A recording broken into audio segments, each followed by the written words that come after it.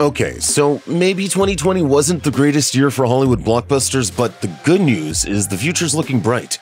From firm franchise favorites to the most exciting new projects, here are the must watch movies of the next few years. Thanks to the ongoing COVID 19 pandemic, in 2020, Marvel Studios had their first year without a theatrical release in a very, very long time. That's okay though, because 2021 promises to be an especially robust year for Marvel's superheroes, and it all kicks off in May with the long awaited Black Widow. Since her character didn't survive the events of Avengers Endgame, Natasha Romanoff's solo adventure will take her back in time to the period between Captain America Civil War and Avengers Infinity War. After the breakup of the Avengers, Black Widow is called back home to untangle a conspiracy with roots in her own past. Though she's venturing out on this adventure without any of her fellow Avengers, Natasha will be joined by a team of some of her old Russian friends, including her sister in arms Yelena, her mentor Melina, and the former Russian super soldier known as the Red Guardian. Originally slated to arrive in May 2020, Black Widow will now roll out a year later on May 7, 2021. After years of rumors suggesting that his time as James Bond would be coming to a close, it's now been confirmed that the 25th James Bond film, No Time to Die, will mark the curtain call for Daniel Craig. Though he's made fewer films than previous title holder Roger Moore, Craig has now been the reigning Bond for a longer period of time than any other actor. By the time No Time to Die hits theaters, he'll have spent a decade and a half in the role. The name's Bond. James Bond. It's fitting then that he seems to be going out with a very big bang indeed. Director Cary Fukunaga helms the latest Bond adventure, which sees Craig's 007 facing off against the sinister new villain known as Safin. No Time to Die was originally set for a November 2020 release, but was pushed back a number of times due to the COVID 19 pandemic. It's now slated for an April 2021 release. There have been two films in the Kingsman series so far, and they've both focused on largely the same cast of characters. But that's set to change in 2021 when the franchise goes back to where it all began. The King's Man, a prequel film once again helmed by original Kingsman director Matthew Vaughn, will venture back to the early 20th century, finding a different set of Kingsman agents as they try to stop a team of criminal masterminds from wiping out millions of lives. Since the movie is set 100 years ago, you probably shouldn't expect to see Eggsy or Harry show up, but the cast led by Ralph Fiennes and Gemma Arterton is pretty dazzling nonetheless. The film was originally set to arrive in November 2019, then was pushed to February 2020, and then again to September 2020. Things took a turn for the worse when the COVID 19 pandemic hit, forcing another schedule shift. The film is now set to finally hit theaters on February 12, 2021. Frank Herbert's hugely influential sci fi novel Dune has already been adapted to the screen twice once for the big screen by David Lynch, and once for the small in a sci fi miniseries. Both versions have their fans, but 2020 was supposed to bring a Dune adaptation like no other. A big budget, ultra ambitious, epic, helmed by genre luminary and Blade Runner 2049 director Denis Villeneuve. Sadly, the COVID 19 pandemic means Dune fans will have to wait a little longer to see whether Villeneuve has pulled it off or not. But that doesn't make it any less exciting. The first trailer for Dune was packed full of astonishing visuals, setting a truly beautiful stage for this story of a doomed family and the hostile planet they make their home.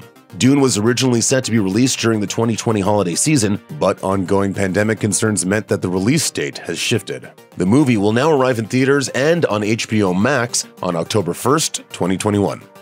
It's been more than 20 years since the last film in the Candyman series, but in 2021 that's set to change, with director Nia DaCosta's sequel to the original urban legend driven classic. Set long after the first movie's creepy housing projects have been torn down, the film follows visual artist Anthony as he moves into the now gentrified complex with his girlfriend and begins an art project digging into the local folklore. What begins as an intriguing idea soon turns into a nightmare, however, as he discovers the legend of the Candyman is frighteningly real. Candyman was originally set to be released in June 2020. Pandemic induced delays pushed it to the fall of the same year, however, and then delayed the movie again to its current release date of August 27, 2021. On July 9, 2021, Marvel will release Shang-Chi and the Legend of the Ten Rings, a superhero epic with a kung fu edge. Chinese Canadian actor Simu Liu has landed the title role of Marvel's Master of Kung Fu in the film, which will also star Awkwafina in an as yet undisclosed role. But aside from being Marvel's first Asian led MCU movie, perhaps the most exciting thing about Shang-Chi is the villain. 2010's Iron Man 3 seemed to introduce the classic comic villain known as the Mandarin, only to then reveal he was simply an actor, playing a role as part of another villain's evil ploy. Just a role? The Mandarin, see, it's not real.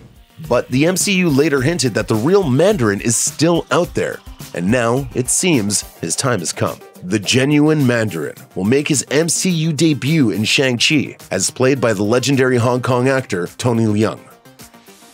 Every once in a while, Disney will take a couple of bankable stars, throw a bunch of money at them, and send them on a crazy standalone adventure. And sometimes it even works out. Based on the Disney theme park ride of the same name, Jungle Cruise pairs Dwayne The Rock Johnson alongside Emily Blunt as they set out on an adventure into the heart of the jungle, searching for the mythical Tree of Life. The Commuter's, Joe May Call It Sarah, takes directing duties on the film, which was originally set to be released on July 24, 2020. For reasons that should be obvious at this point, the film was delayed and is now due to hit theaters on July 30th, 2021.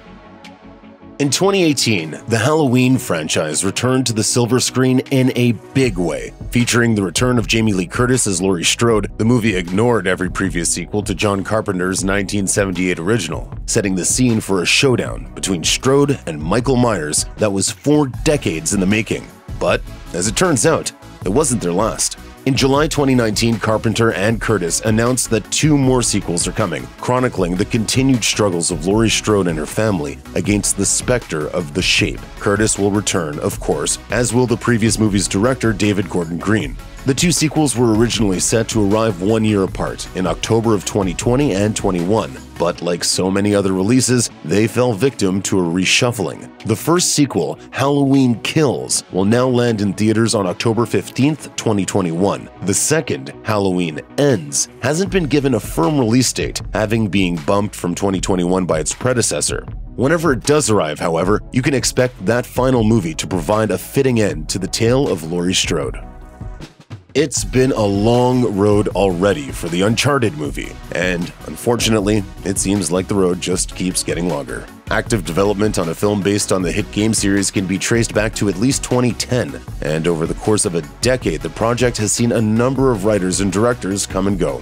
The movie finally landed on Venom's Ruben Fleischer as director and will star Tom Holland as a younger version of the video game series hero, Nathan Drake. Uncharted is set to explore Drake's early days as a treasure hunter and will co star Mark Wahlberg as the young adventurer's partner, Victor Sullivan. In January 2020, Deadline reported that Sony Pictures had bumped the film from its previous release date of December 18, 2020 to March 5, 2021. There was still one more delay in store, however, when industry reshuffling in the wake of the coronavirus pandemic saw Uncharted pushed to July 16, 2021. In 2018, MGM decided it was time to bring the beloved video game franchise Tomb Raider back to the big screen, with a new take that hewed closer to the more recent installments of the game series. Starring Alicia Vikander as Lara Croft, the film dove into Croft's first treasure hunt as she followed in the footsteps of her father. Tomb Raider grossed $275 million worldwide, which proved more than enough to set development of a sequel in motion. Vikander will return to her starring role as Lara Croft, and cult genre director Ben Wheatley will sit in the director's chair. The screenplay has been written by Wheatley's longtime partner Amy Jump, who co-wrote the director's other films including High Rise and Free Fire. Tomb Raider 2 was first slated for release on March 19, 2021, but has now been delayed indefinitely as a result of the pandemic. For more than a decade, Dwayne Johnson has been pushing for the development of a superhero movie that sits particularly close to his heart, and soon he'll finally make his big screen super debut. Starring in the movie of the same name, Johnson will play Black Adam, a character first introduced as a villain for the superhero now known as Shazam. Adam had previously wielded Shazam's powers but was corrupted into villainy. Before long, however, the character was later retconned to be more of an anti hero. Adam was originally supposed to be a villain in the first Shazam movie, but Johnson's commitment to the role and his view of Adam as a heroic, misunderstood figure won out, and the character will now be getting his very own movie. Black Adam is currently awaiting a new release date after being bumped from its originally scheduled release of December 22, 2021. All of you around the world right now watching, I can promise you this, I give you my word, that we are going to go beyond your wildest expectations. In late 2018 and early 2019, Warner Brothers did a lot of work to try and inject some fun into the DC Extended Universe. That effort began with Aquaman, which was a massive box office hit over the 2018 holiday season, and continued with Shazam, which arrived in early 2019 and proved equally successful with fans and critics. The movie never quite reached the box office heights of Aquaman, but it still hauled in a decent $366 million worldwide. Then in late 2019, Warner Brothers announced that a Shazam sequel is on the way. Zachary Levi is set to return in the film's title role, with director David F. Sandberg also set to return behind the camera. In 2020, the title was revealed to be Shazam Fury of the Gods. There's no word yet on exactly what the plot will be, but the original film set up plenty of opportunities for new foes, including the potential introduction of Black Adam after his own film drops. Fury of the Gods is expected to arrive on June 2nd, 2023. Ask any longtime Star Wars fan what kind of movie they'd like to see outside the main saga, and there's a good chance you'll hear the words Rogue Squadron. The legendary band of starfighter pilots was a major part of the old Star Wars expanded universe, and now it seems set to be part of the new one. Disney announced in December 2020 that Wonder Woman director Patty Jenkins will helm a Rogue Squadron feature film, and that it will be the next theatrical release in the Star Wars universe. In a short video introducing the project, Jenkins described the movie as the fulfillment of a lifelong dream to make an amazing fighter pilot movie in honor of her father, who is a fighter pilot himself. Now I found a movie about two things I love. So I'm going to see you very soon. Plot details are scarce, but we do know that the film will focus on a new generation of pilots in a future era of the Star Wars galaxy. More will become clear in the run up to Rogue Squadron's release, which has been slated for December 2023. Acclaimed writer director Taika Waititi already has something of a history with Star Wars. After finding considerable success at Marvel Studios with Thor Ragnarok, Waititi joined the group of directors recruited by Jon Favreau to helm the first season of the Star Wars live action series The Mandalorian, in which he also voiced the bounty hunter turned nanny droid IG 11. Waititi must have made an impression on the Lucasfilm crew because in May 2020, the official Star Wars website announced that the director has signed on to make a new Star Wars movie. Details on the project are still extremely scarce, however, and nobody has any idea what it'll be called, when it'll be set, which characters are involved, or even when it's supposed to be released. All anyone can be sure of is that Waititi is working on a Star Wars movie. But hey, that's good enough for now. The earliest rumblings around Disney's purchase of Fox immediately sent waves of anticipation through the Marvel fandom. By the time the deal was done, geeks everywhere were champing at the bit for any news about the future of Fox's two biggest Marvel properties, the X Men and the Fantastic Four. Mostly, however, Kevin Feige and company kept a tight lid on things. Then came Disney's Investor Day presentation in December 2020 when Feige announced that a Fantastic Four movie is on the horizon. Very little is known about the movie, but it has been announced that Spider Man director Jon Watts will be at the helm. Aside from that, anything could happen. Though they first felt more like a relatively minor part of the wider MCU narrative, the Ant Man movies have since become a kind of cornerstone for the future of the franchise, mostly thanks to Scott Lang's major role in Avengers Endgame. Now, the third adventure for the Ant Man crew is on the horizon, and ironically enough, it's set to be a big one. Marvel announced in December 2020 that the third feature in the series will be titled Ant Man and the Wasp Quantumania, and that it's set to introduce one of the biggest villains in the Marvel Universe, the time hopping warlord, Kang the Conqueror. Lovecraft Country star Jonathan Majors is set to portray Kang, making him one of two major MCU newcomers in the film so far, the other being Freaky star Kathryn Newton as Scott Lang's grown up daughter Cassie. Ant Man and the Wasp stars Paul Rudd, Evangeline Lilly, Michael Douglas, and Michelle Pfeiffer are all set to return for the film, as is director Peyton Reed. The film does not yet have a firm release date. Captain Marvel was a game changer for the MCU when it debuted in 2019. It was the first female led Marvel Studios superhero film. It introduced the Skrulls to the franchise while expanding the role of the Kree, and it set the stage for more superheroines to join the MCU.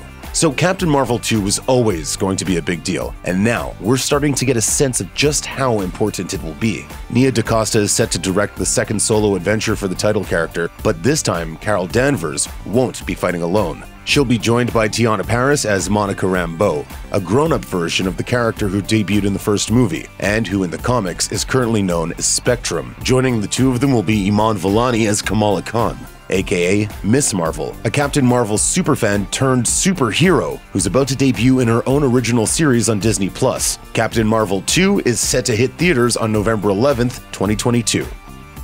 Not too long ago, it seemed unthinkable that there'd be any more installments in the Toy Story series. Then, Toy Story 4 came along and wrapped an even tighter bow on the franchise. Now, it looks like Toy Story is moving on in a way that nobody could possibly have predicted. In December 2020, Disney announced that Pixar Animation Studios has been hard at work on Lightyear, a new animated adventure starring Chris Evans as the voice of the title character, presenting a kind of origin story for everyone's favorite Space Ranger. But as Evans later clarified via Twitter, this isn't the story of the toy. In fact, this is the story of the real Buzz Lightyear, the character who inspired the toy. That's an intriguing idea, and we'll see how it plays out when Lightyear hits theaters June 17, 2022. Marvel Studios has been eager to produce a sequel to Black Panther ever since the first film rocketed to massive commercial and critical success in 2018. Unfortunately, in 2020, Hollywood was rocked by the tragic passing of Chadwick Boseman. Boseman's death left a number of lingering questions from Black Panther fans, and in December 2020, Marvel started answering a few of them. During Disney's Investor Day presentation, Kevin Feige announced that Black Panther 2 would still be moving forward under the leadership of director Ryan Coogler, but that the role of T'Challa won't be recast. Instead, Feige told fans to expect a movie that both honors Boseman's memory and continues to explore the world of Wakanda. However, it takes shape. Black Panther 2 is set to hit theaters July 8, 2022. Check out one of our newest videos right here. Plus, even more Looper videos about your favorite movies are coming soon. Subscribe to our YouTube channel and hit the bell so you don't miss a single one.